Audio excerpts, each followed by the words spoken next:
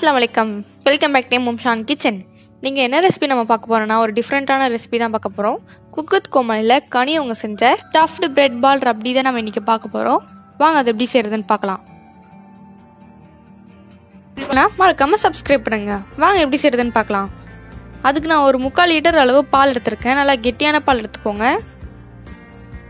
இதுக்கு வந்து நல்லா ஃபுல் ஃபேட் க்ரீம் மில்க் எடுத்துக்கோங்க. நான் இன்னைக்கு வந்து பாட்டிலில் இருக்கும்ல நல்லா க்ரீமியான மில்க் எடுத்திருக்கேன்.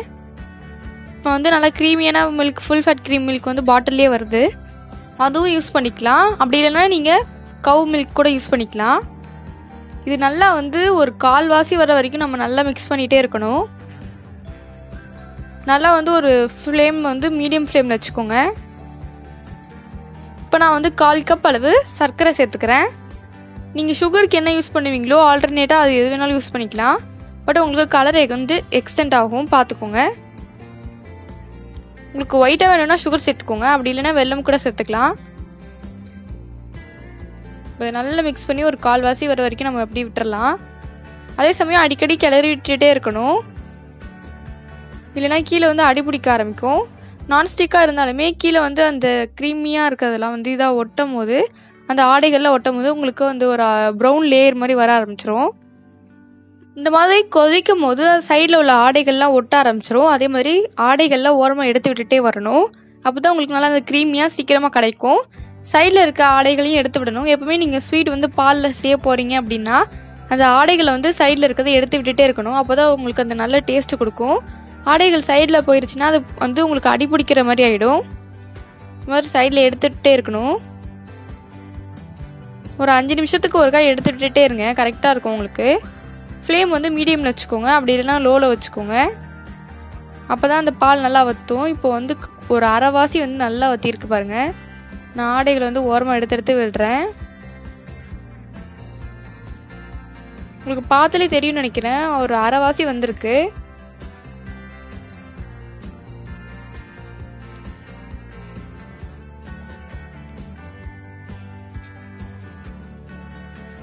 பாருங்க எப்படி வத்திருக்குன்னு பால். இதோட நல்லா இன்னும் வத்தணும். அப்போ தான் உங்களுக்கு அந்த நல்லா க்ரீமி டேஸ்ட் வரும். ஒரு மலாய் மாதிரி வரும்.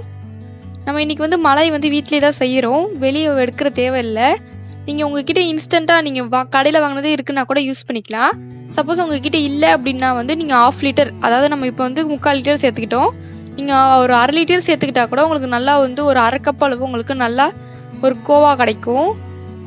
அதை வச்சு நீங்கள் யூஸ் பண்ணிக்கலாம். இந்த ரெசிபியை செஞ்சு தான் கனி அவங்க ஹியூமினிட்டி பேண்ட் வின் பண்ணாங்க. கோவா வந்து வாங்கணும்னு அவசியம் இல்லை. நீங்கள் அரை லிட்டர் பால் வந்து ஸ்பெண்ட் பண்ணாலே போதும்.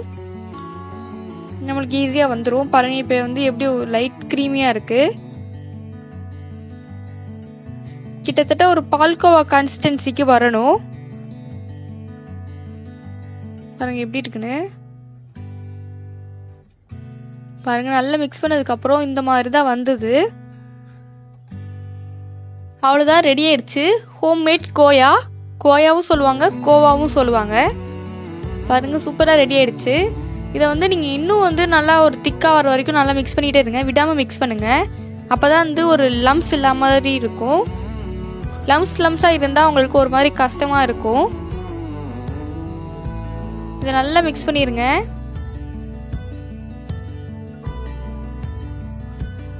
ஃப்ளேமை வந்து ஹையில் வச்சுக்கோங்க இது செய்யும் போது பாருங்க சூப்பராக வந்துருச்சு. இது ஆறுனா இன்னும் நல்லா உங்களுக்கு சூப்பராக கிடச்சிரும். இதை நம்ம நல்லா ஆற விட்டுடலாம்.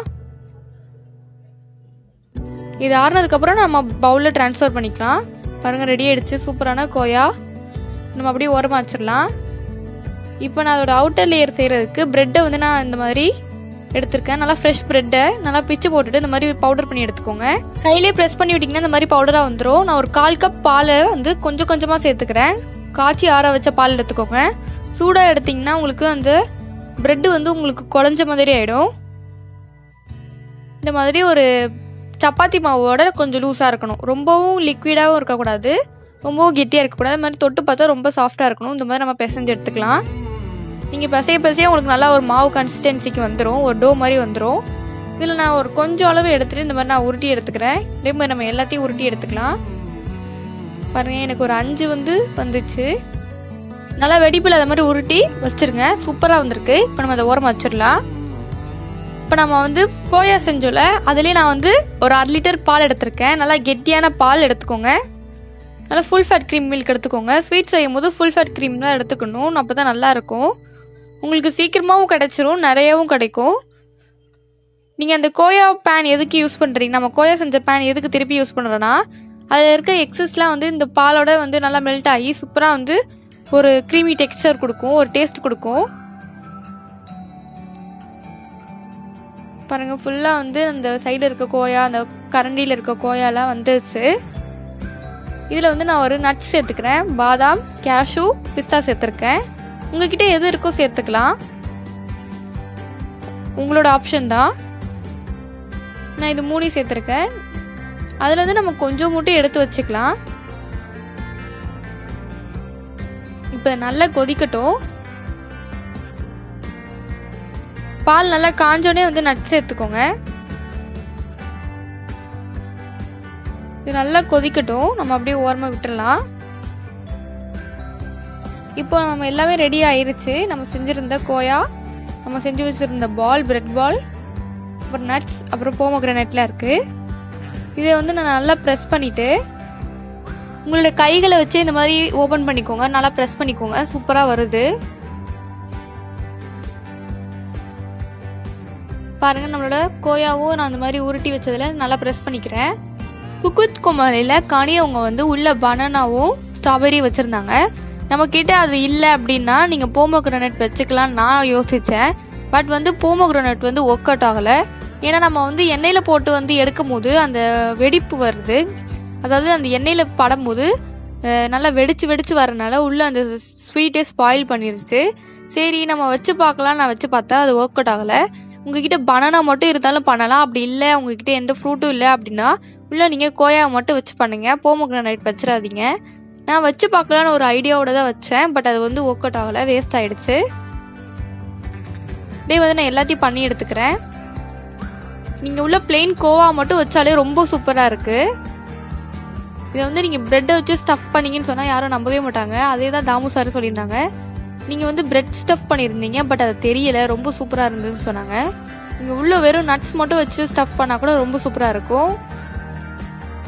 நான் என்ன ஐடியா பண்ணேன்னா சரி நம்மக்கிட்ட ஃப்ரூட்ஸ் இருந்தால் போதும்னு சொல்லிட்டு நான் போமோகிரானேட் உள்ளே வச்சு ஸ்டஃப் பண்ணிட்டேன். பட் அந்த போமோகிரானேட் வந்து அந்த டிஷ்ஷையே ஸ்பாயில் பண்ணிடுச்சு. நம்ம எண்ணெயில் போட்டு எடுக்கும் போது அப்படியே டப் டப்னு தெரிக்குது. அந்த ஸ்வீட் வந்து வெடிச்சிருது. நீங்கள் சேர்க்க வேண்டாம் போமோகிரானேட் நான் தெரியாமல் ஒரு மூணு பால்ஸ் அது மாதிரி ரெடி பண்ணிட்டேன். உங்ககிட்ட வந்து ஃப்ரூட்ஸ் இல்லைன்னா கூட பரவாயில்ல. நீங்கள் பனானா சேர்த்துக்கலாம். அப்படி இல்லைன்னா ஸ்கிப் பண்ணிடுங்க வெறும் கொயா உள்ளே வந்து நட்ஸ் வச்சுட்டு நீங்கள் ஃப்ரை பண்ணி எடுத்துட்டாலே ரொம்ப சூப்பராக இருக்கும் நீங்கள் அந்த மாதிரி ட்ரை பண்ணி பாருங்கள் இது ஏன் வெடிச்சது அப்படின்னா நம்ம முட்டை போண்டாலாம் வந்து முழுசா போட்டுட்டிங்கன்னா உங்களுக்கு வந்து வெடிக்க ஆரம்பிச்சிரும். இதுவே நீங்கள் கட் பண்ணிட்டு போட்டிங்கன்னா உங்களுக்கு சூப்பராக வந்துடும் அதே மெத்தட் தான் இதுலேயும். நம்ம வந்து அந்த ஒரு பால்ஸ் மாதிரி இருக்குல்ல? அதாவது மாதுளம்பழம் வந்து உள்ளே வந்து நல்லா ஒரு முத்து மாதிரி இருக்கனால க்ளோஸில் தான் இருக்கும். அதில் ஓப்பன் இருக்காது. அது மாதிரி இருக்கனால உங்களுக்கு வெடிச்சிருது. இதுவே நீங்கள் உள்ளே போமோகிரானட் வைக்காம செஞ்சு எடுத்துக்கோங்க. உங்களுக்கு கரெக்டாக இருக்கும். நெக்ஸ்ட் நான் போமோகிரானட் ஸ்கிப் பண்ணிட்டு இந்த மாதிரி ஃப்ரை பண்ணிட்டு பாருங்க இந்த மாதிரி நல்லா எண்ணெய் ஊற்றிட்டு இருந்தீங்கன்னா ஒரு மீடியம் ஃப்ளேமில் வச்சுக்கோங்க. ரொம்ப ஹை ஃப்ளேமில் வச்சுட்டிங்கன்னா உங்களுக்கு ரொம்ப ப்ரௌன் ஆகிடும் நம்ம கட்லெட்க்கு என்ன மெத்தட் ஃபாலோ பண்ணுவோமோ அதே தான் எண்ணெயில் ஆயில் பொரிக்கும் போது அந்த கட்லெட்டை எப்படி பொரிக்கும் போது எண்ணெய் எப்படி வச்சுக்கிறோமோ அதே மாதிரி தான் இதுக்கும் வச்சுக்கிறணும். பாருங்க சூப்பராக ரெடி ஆயிடுச்சு. ஒரு குலாப் ஜாமுன் மாதிரி இருக்கு. சூப்பராக ஃப்ரை ஆயிடுச்சு. இதே மாதிரி நான் எல்லாத்தையும் ஃப்ரை பண்ணி எடுத்துக்க போகிறேன் இதில் உள்ள ஆயிலெலாம் நல்லா வந்து எடுத்துட்டு அப்புறம் எடுத்து பிளேட்டில் வச்சுக்கோங்க. இது எண்ணெயும் அவ்வளோ குடிக்கல ரொம்ப சூப்பராக இருந்தது. இதில் வந்து எந்த டேமேஜ் எதுவும் வரலை ஓப்பன் ஆகலை. அதே மாதிரி நீங்கள் உருட்டும் போது நல்லா வந்து வெடிப்பு இல்லாத மாதிரி உருட்டி எடுத்துக்கோங்க. நம்ம குலோப் ஜாமுனுக்கு என்ன ரூல்ஸ் ஃபாலோ பண்ணுவோமோ அதே மாதிரி ஃபாலோ பண்ணிக்கோங்க. அதில் வந்து நம்ம வெடிப்பு இல்லாத மாதிரி பண்ணாதான் உங்களுக்கு நல்லா சூப்பராக அந்த ரவுண்டாக புஃபியாக கிடைக்கும். அதே மாதிரி தான் இதுலேயும் பண்ணணும். இப்போ சுகர் சிரப் ரெடியாக இருக்குது சர்க்கரை பாவு இதில் நான் வந்து சேர்த்து நல்லா வந்து ஒரு முப்பது நிமிஷம் அந்த மாதிரி விட்டுறேன். ஒரு அரை மணி நேரம் அந்த மாதிரி விட்டிங்கன்னா நல்லா அந்த சுகர் சிரப்லாம் நல்லா உள்ளே அப்சர்வ் ஆகிடும் மேக்ஸிமம் நீங்கள் ஒரு ஃபிஃப்டீன் மினிட்ஸ் வச்சாலே போதும். அந்த ஜூஸியாக இருக்கும். அப்போ தான் அந்த உள்ளே இருக்க சுகர் சிரப் நீங்கள் அப்படி செய்கிறீங்கன்னா போமோகிரனட்டை ஸ்கிப் பண்ணிக்கோங்க. மாதுளை பழத்தை ஸ்கிப் பண்ணிக்கோங்க. நான் ஊற வச்சுருந்தேன் அந்த ஸ்டஃப்டு பிரெட் பால் எடுத்துட்டேன். இப்போ நம்ம செஞ்சு வச்சிருந்த ரப்டியை சேர்த்துக்கலாம். இந்த ரப்டி தான் ரொம்ப சூப்பராக இருந்தது. அந்த க்ரீமியாக இருந்தது. சாப்பிடும் போதே அந்த நட்ஸோட சாப்பிடும் போது ரொம்ப சூப்பராக இருந்தது. மேலே வந்து நான் மலாய் வச்சுக்கிறேன். ஆடைகள் வச்சுக்கிறேன். இந்த ஆப்ஷன் நீங்கள் ஸ்கிப் பண்ணுறதா இருந்தாலும் பண்ணிக்கலாம். நான் ஊற்றும் போதே அந்த ரப்டியில் ரொம்ப சூப்பராக இருந்தது. ஆடைகளாக விழுந்தது. மேலே வந்து நான் கொஞ்சம் நட்ஸ் சேர்த்துக்கிறேன். உங்ககிட்ட என்ன நட்ஸ் இருக்கோ சேர்த்துக்கலாம். நான் மூணு கலந்து சேர்த்துருக்கேன். அது மேலே வந்து நீங்கள் குங்குமப்பூ லைட்டாக நீங்கள் ஆட் பண்ணிக்கலாம். உங்ககிட்ட இது இல்லைனாலும் ஸ்கிப் பண்ணிக்கலாம். பட் இந்த குங்குமப்பூ ரொம்ப அதோட டேஸ்ட் ரொம்ப சூப்பராக கொடுத்துச்சு.